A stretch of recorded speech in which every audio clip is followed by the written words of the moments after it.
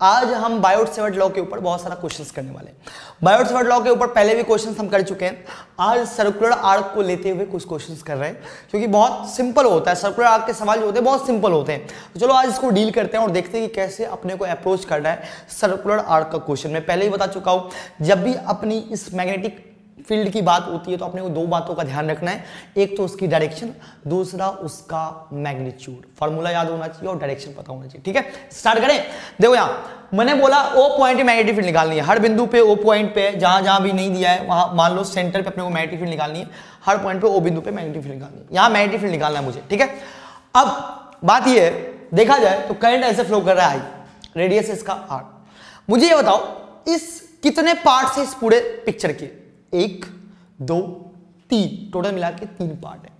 अब तीन पार्ट है, तीनों को अलग अलग इंडिविजुअली एनालाइज करूँ। अगर मैं बोलूँ कि इस पार्ट ये वायर जो है, इस दो वायर की वजह से यहाँ मैग्नेटिक फ़ील्ड कितना होगा?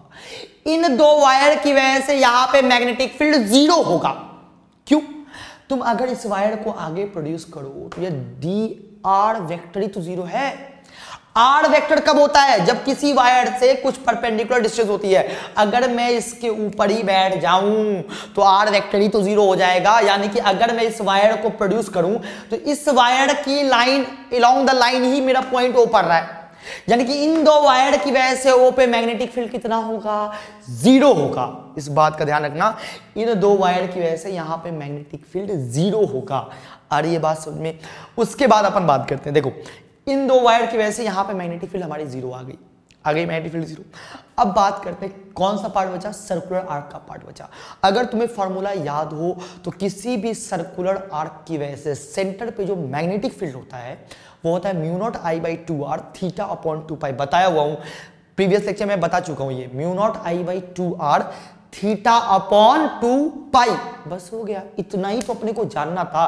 बाकी सवाल तो अपन चुटकियों में हल कर लेंगे। कैसे? मैं बताता हूँ कैसे। अब जैसे मैंने बोला, यहाँ पे ये एंगल कितना बनाना है?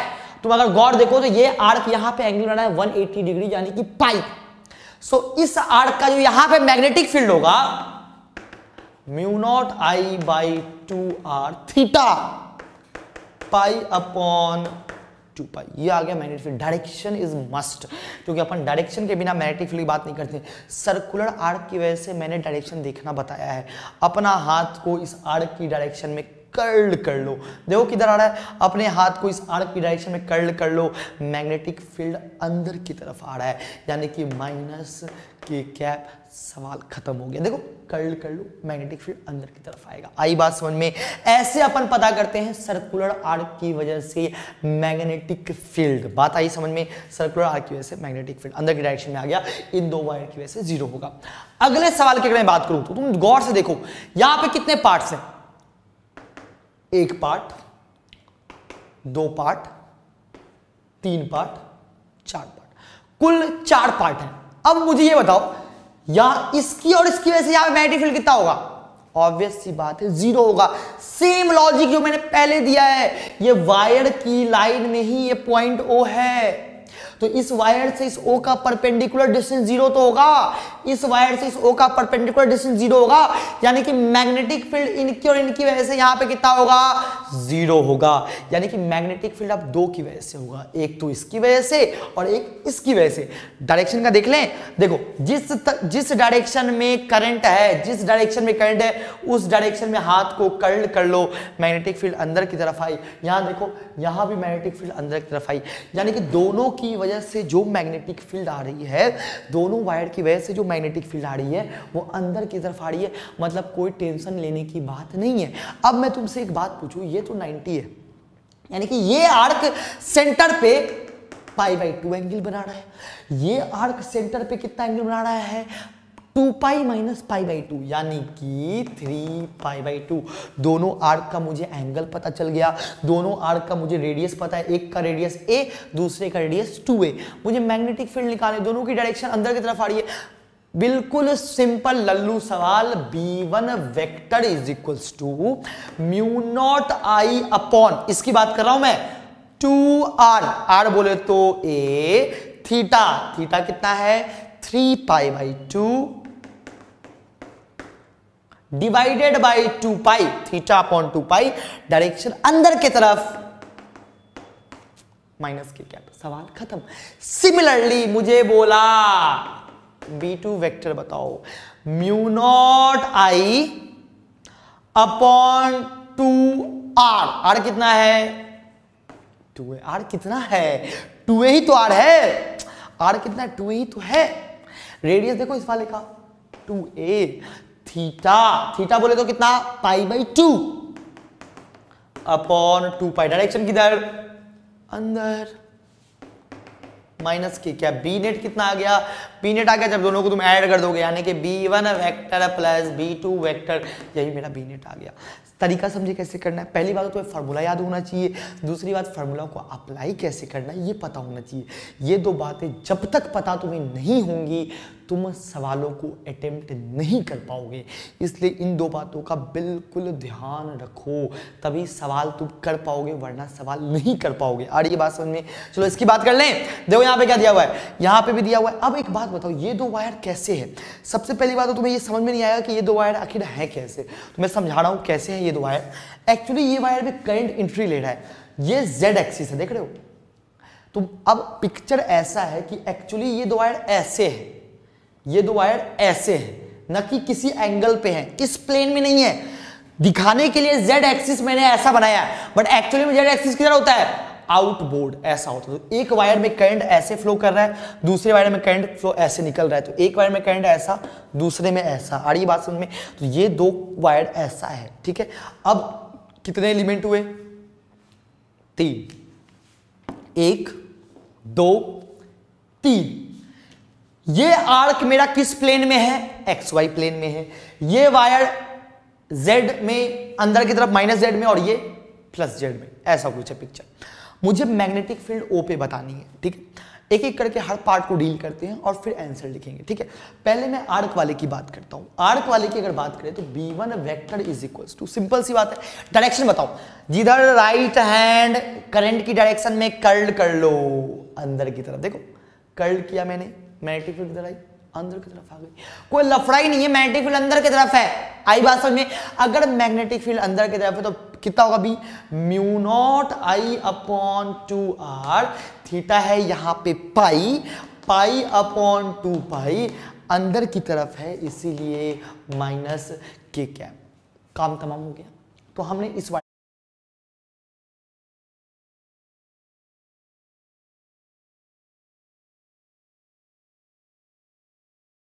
वायर का निकाल लिया। अभी मेरे पास दो एलिमेंट बचा हुआ है। एक वायर जो ऐसे अंदर की तरफ़ आ रहा है और एक वायर जो बाहर की तरफ़ जा रहा है जेड एक्सिस में ऐसा। अब देखो मैं इस वायर की बात कर रहा हूँ जो कि मेरे अंदर की तरफ़ आ रहा है। देखना गौर से, इस वायर की अगर मैं बात करूँ, ये वायर अंदर की तरफ़ ऐसे जा रहा है जेड में। अंगूठा करेंट की डायरेक्शन में और ये फोर फिंगर्स ओ की डायरेक्शन में। इसका परपेंडिकुलर मैग्नेटिक फ़ील्ड देगा, यानी कि मैग्नेटिक फ़ील्ड नीचे की तरफ़ आ रही है। अंगूठा करंट की डायरेक्शन में, फोर फिंगर्स आर की डायरेक्शन में, पाम का परपेंडिकुलर देगा मैग्नेटिक फ़ील्ड, यानी कि नीचे की डायरेक्शन में। अब इसकी बात कर ले, इसके देखो, करंट बाहर की तरफ़ निकल रहा है। अंगूठा करंट की डायरेक्शन में फोर फिंगर्स ओ की डायरेक्शन में मैग्नेटिक फ़ील्ड नीचे की तरफ़ ही आ रही है। यानी कि दोनों की वजह से मैग्नेटिक फ़ील्ड नीचे की तरफ़ आ रही है। और दोनों कैसा वायर है? दोनों है सेमी इनफाइनाइट वायर और सेमी इनफाइनाइट वायर का जो मैग्नेटिक फ़ील्ड होता है, वो होता है mu naught I upon four pi D मैं पहले ही बता चुका हूँ सेमी इनफाइनाइट वायर का जो मैग्नेटिक फ़ील्ड होता है, वो होता है mu naught I upon four pi D जहाँ पे डी जो होता है, वो होता है परपेंडिकुलर डिस्टेंस जो कि यहाँ पे आर है। यानी कि बी टू की अगर मुझसे कोई बात किया, देखना बी टू की बात किया mu naught I upon four pi D यानी कि आर इंटू टू दोनों का डायरेक्शन नीचे की तरफ़ ही इसलिए इंटू टू कर दिया। डायरेक्शन नीचे की तरफ़ यानी कि minus J cap vector addition तो कर सकते हो। बी वन बी टू का वेक्टर एडिशन तो कर सकते हो। काम हो गया। ये आ गया मेरा मैग्नेटिक फ़ील्ड किसकी वजह से? उन दो पिक्चरों की वजह से। अगले सवाल की बात कर लें। अगला सवाल देखो क्या दिया हुआ है।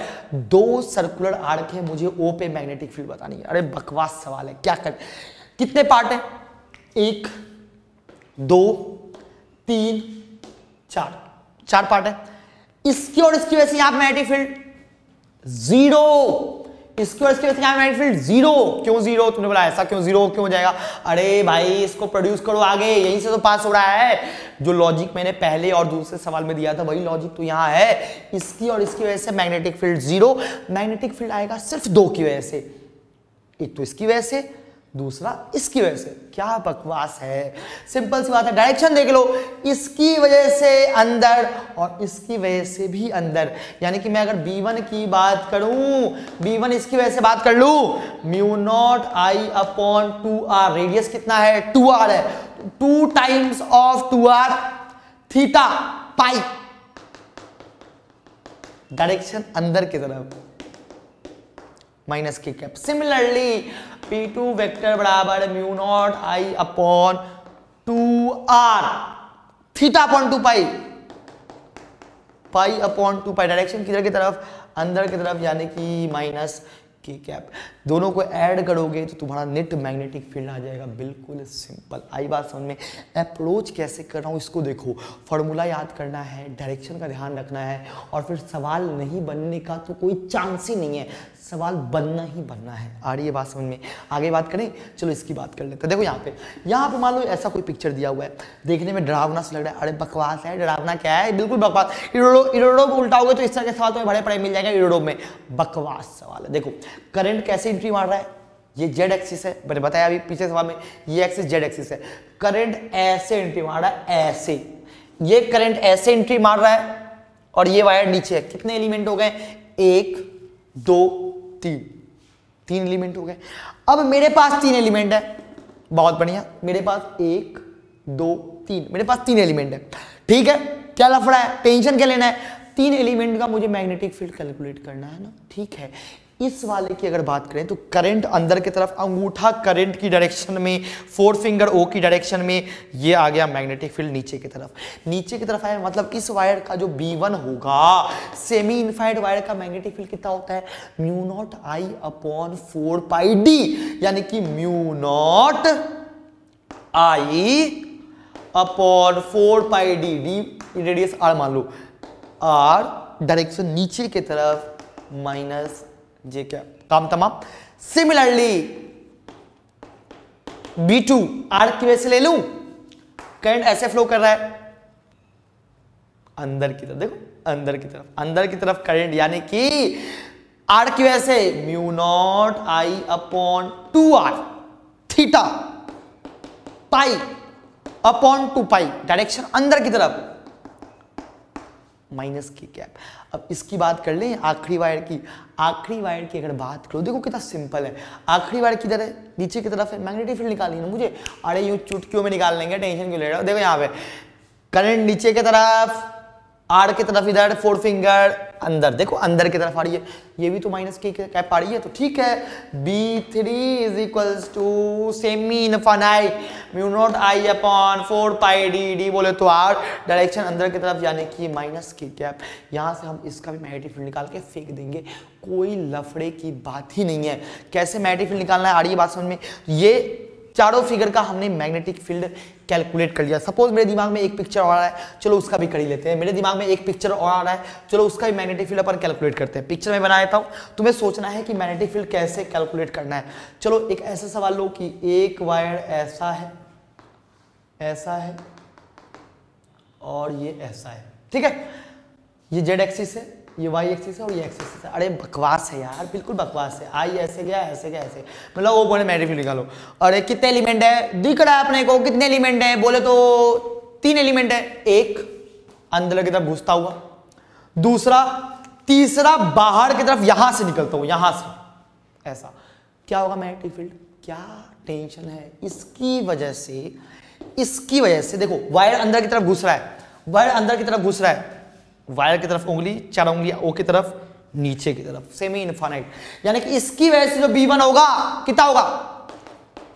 Mu naught I upon four pi D D बोले तो आर डायरेक्शन नीचे की तरफ़ जाने की माइनस जे कैप काम तमाम हो गया। इसकी वजह से देखो, हाथ कर्ल करो, अंदर की तरफ़ आ रहा है, देखो, अंदर की तरफ़ आ रहा है, अंदर की तरफ़ आ रहा है, यानी कि मैग्नेटिक फ़ील्ड अंदर की तरफ़ होगा, कितना होगा?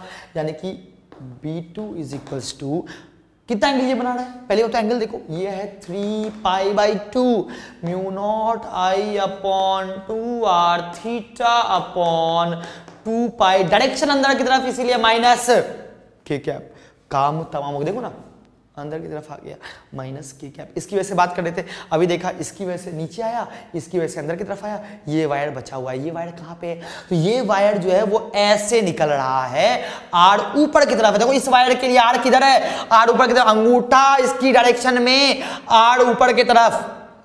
मैग्नेटिक फ़ील्ड इधर की तरफ़ minus I cap B three semi infinite mu naught I upon four pi D D बोले तो आर डायरेक्शन माइनस देखो जे में भी आ गया के में भी आ गया आई में आ गया।